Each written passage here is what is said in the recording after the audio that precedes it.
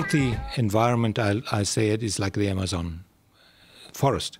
It's got a huge diversity of things, and as so as our gut microbe should be.